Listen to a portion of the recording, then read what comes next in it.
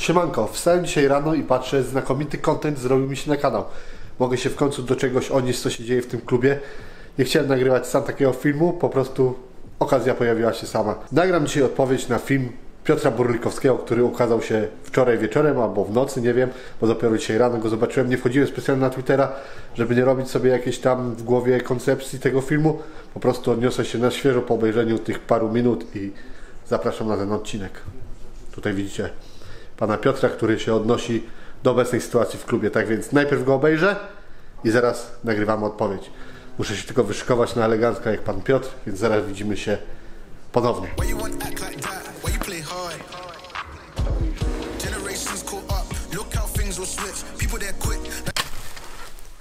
No to zapraszam na moją odpowiedź.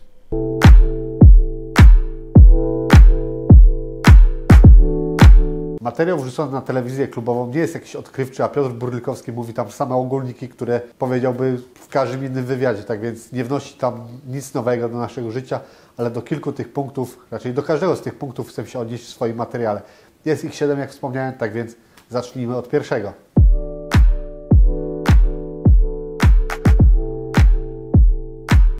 Gdyby Piotr Burlikowski dobrze przygotował się do tego nagrania, wiedziałby, że wcale tak dawno temu lepiej nie startowaliśmy, że nie są to jakieś odległe lata, a zaledwie trzy sezony temu.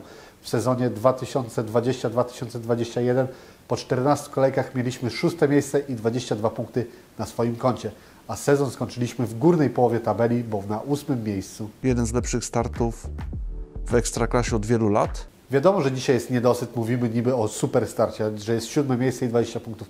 To wcale nie jest jakiś rewelacyjny wynik, bo w poprzednim sezonie mieliśmy 17 punktów, czyli 3 oczka mniej i dwa sezony również 17 punktów, a sytuacja w tabeli była gorsza, bo tabela była bardziej spłaszczona. A jeżeli dzisiaj byśmy mieli na koncie około 25-26 oczek, a jakieś mecze byśmy niefortunnie przegrali, to również moglibyśmy mówić o niedosycie, tak jak mówimy dzisiaj w przypadku tych 20 oczek. Puchar Polski. Chcieliśmy zagrać w finale, ale niestety nam nie wyszło. Całe szczęście trafiliśmy na drużynę z Ekstraklasy i to odpadliśmy z Ekstraklasowiczem, a nie z jakąś drużyną z drugiej czy z trzeciej ligi. Ale w meczu z Krakowią, gdybyśmy chcieli awansować, to byśmy zagrali lepiej. A my tam nie chcieliśmy po prostu awansować. Przypominam, że przez 90 minut oddaliśmy zero celnych strzałów na bramkę, więc o jakim my kurczę Pucharze Polski chcemy rozmawiać, jak my nie potrafimy oddać celnego strzału na bramkę. Kompromitacja w Krakowie Trzeba to powiedzieć jasno. Ten mecz był skompromitowany przez zawodników Zagłębia, którzy wybiegli w Krakowie na Mołrawie. Młodzież, tak, grają młodzi w naszym zespole. Gra Kłódka, gra Pieńko. Na początku sezonu bronił Szymon, ale na tym na razie jest koniec. Młodzi w ogóle nie dostają szans na końcówki spotkań. Mówimy tutaj o świetnym szkoleniu w Akademii, a jednak ci zawodnicy którzy nie są gotowi do końca do pierwszej drużyny, to tych szans nie dostają. Ja wiem, że sytuacja nam nie pozwala na to, żeby masowo wprowadzać tych młodych do zespołu, ale na ostatnie 5 minut można chyba w każdym meczu wpuścić jakiegoś młodego, niech nabiera jakiegoś tego doświadczenia. W meczu z Rakowem na przykład nie mieliśmy już żadnych szans. Dlaczego z ławki nie wszedł ktoś młody, który pojechał do tej Częstochowy i nie pokazał się? Może akurat by coś fajnego zagrał i jakieś to jego doświadczenie już by się nabierało w kolejnych spotkaniach. Piękko i Kłódka, jak już wspomniałem, to już zawodnicy, którzy tego doświadczenia trochę nabrali, bo dostali szansę na początku już bazują na tym doświadczeniu i są teraz coraz lepszymi zawodnikami. Chociaż uważam, że oboje mają ogólny zjazd formy w porównaniu z tym, co prezentowali na wiosnę. Tutaj z Piotrem Burlikowskim muszę się zgodzić, bo jest za wcześnie na ocenianie zawodników na przestrzeni całego sezonu. Wiadomo, że niektórzy już od razu nam pokazują, że się nie nadają. Na przykład taki nalepa. Wszyscy wokół wiedzą, że jeżeli zawodnik zagra w podstawie, to mecz jest zawolony. Wszędzie można o tym poczytać na internecie, wśród kibiców jak się rozmawia. Każdy to wie, że jak nalepa gra, to gramy kiepsko w obronie.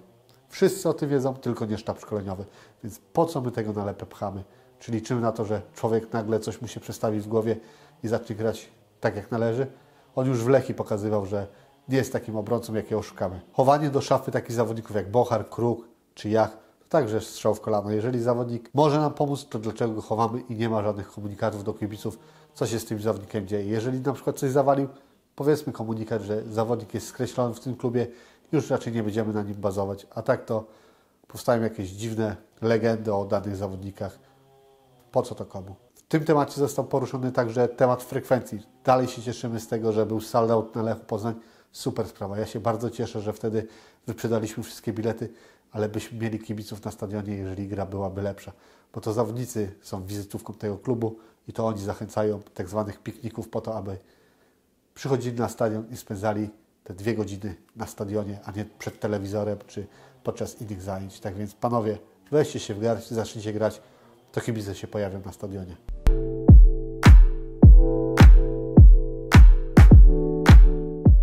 Ja również jestem zdania, że mecz można przegrać.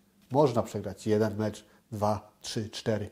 To jest sport, takie rzeczy się zdarzają, ale można przegrać po walce, a nie przegrać poddając się już w tunelu. Bo to, co pokazaliśmy w Krakowie czy w Częstochowie, to jest porażka. To jest porażka. Zawodowy piłkarz nie tak powinien wykonywać swój zawód. My ten mecz przeszliśmy obok. Te konsekwencje powinny być wyciągnięte wobec tych zawodników, którzy wybiegli na tą murawę. Powinny być jakieś kary finansowe, no bo tak się nie wykonuje zawodu. No, nie mówcie mi, że zawodnicy w tym meczu walczyli, bo w życiu nie uwierzę. A problem myślę, że jest także w przygotowaniu fizycznym zespołu. Bo tak jak my biegamy po tej murawie i jak biegamy, to jest jakaś przesada. Jesteśmy nieprzygotowani fizycznie do zawodów. Inni zawodnicy nam odjeżdżają. Raków Częstochowa 11 km w ciągu 90 minut więcej od naszych zawodników. Zawodowy piłkarz. Nie wierzę.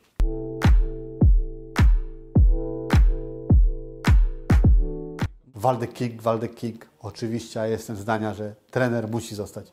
Trener musi uporać się z kryzysem wewnątrz zespołu, musi postawić ich na równe nogi i walczyć z tym.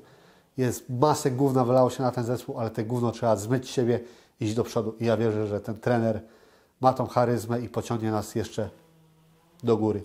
Trzymam kciuki, panie trenerze, bo wierzę w pana. Jak pan przychodził tutaj do zespołu, byłem niezmiernie szczęśliwy, że będziemy mieli takiego trenera. Niech pan pokaże, niech weźmie pan ich za mordy i wyciśnie z nich to, co najlepsze.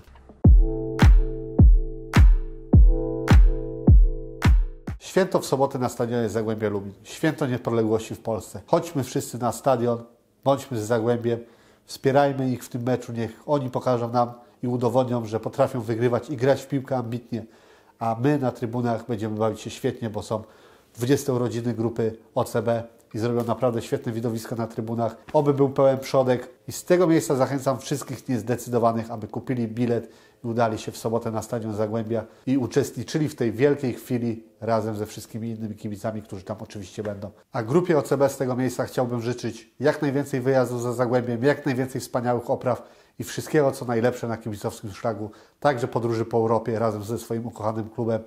A Wam, piłkarze Zagłębia, chcę przekazać w tym momencie to, żebyście nie spierdolili kibicom tego wspaniałego jubileuszu. Niech cały stadion w sobotę będzie pomarańczowy, a piłkarze, żeby stanęli na wysokości zadania i wywalczyli trzy punkty. Tego sobie i Wam życzę. Do zobaczenia na meczu już w sobotę.